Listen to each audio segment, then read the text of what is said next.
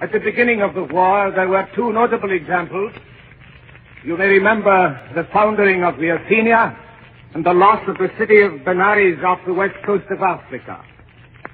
And at that time, one of the popular songs was, as you may remember, the beer barrel polka. And we read, incredible as it seems, we read of survivors struggling in the water, crouched, wet and shivering in lifeboats, singing together, roll out the barrel and we'll have a barrel of fun. One might wonder at the choice of a song. One might be aghast at the prospect of facing eternity to the strains of the beer barrel polka, but there is nevertheless something thrilling about the spirit that can sing at such a time, even although what they sing seems inane and strangely inappropriate. I have often thought what a startling contrast to another maritime disaster, which some of you will remember, in May 1912, when the Titanic went down. I was a very little boy then, but I can well remember the special editions of the papers and the magazines with their heavy black borders describing the loss of this magnificent new ship which men said could never sink. This floating palace was in collision with a floating mountain of ice, and icy knives ripped open a hull that was claimed to be unsinkable. And when the orchestra, which a few minutes before had been playing Strauss waltzes in the ballroom, gathered on the boat deck, and when the male passengers stood alongside with the cry women and children first, loading lifeboats, as many as could be lowered away, they waited patiently, hoping that there might be a chance of rescue, and then, when it appeared that none was likely, the orchestra began to play and they began to sing. But what did they sing? They sang, Nearer, my God, to thee, nearer to thee, e'en though it be a cross that raiseth me, yet all my song shall be nearer, my God, to thee, nearer to thee, nearer to thee. Now when you contrast that with roll out the barrel and we'll have a barrel of fun, you can see what has happened to a nation's faith. You can see what has happened to the faith of people in 30 years, can't you?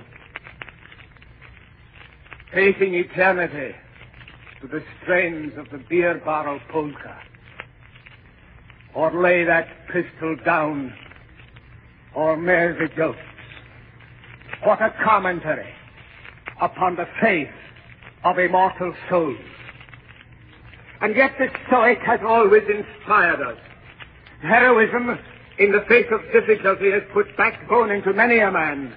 So that if the oyster were to say, I'll never give in, I'll fight it out on this line. Though I'm bleeding and sore, yet I will never surrender. I must remember that the darkest hour is just before the dawn. I'll hang on.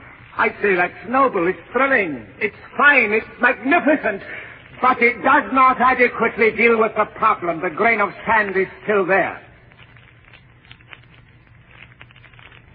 As a matter of fact, the oyster does none of these things. Because the oyster is at one and the same time a realist and an idealist. And you can be both. You must be both in times like these. You must be a realist and an idealist, and the Christian can be and must be both.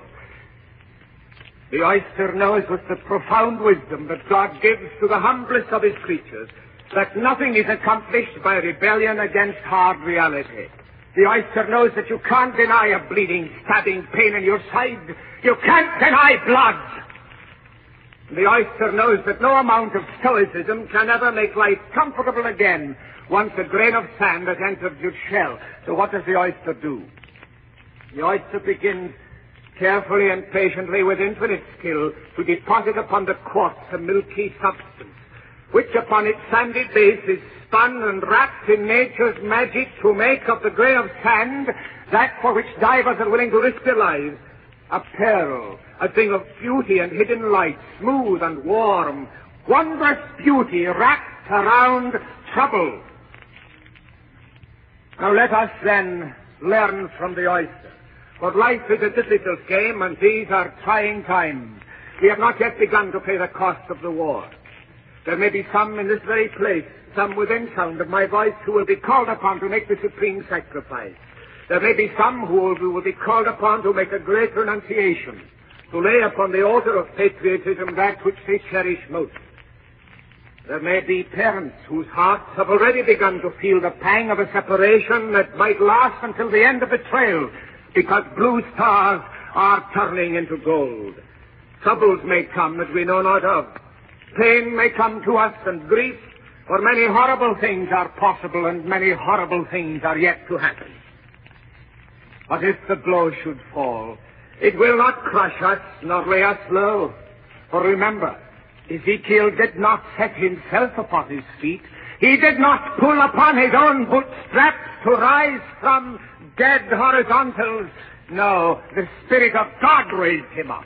The Spirit of God entered into him. The Spirit of God came to him and changed him. So too may the Spirit of God come to you and to me. So too may the Spirit of God enter into your heart and mine. So too may you and I be changed, and God knows we need to be changed.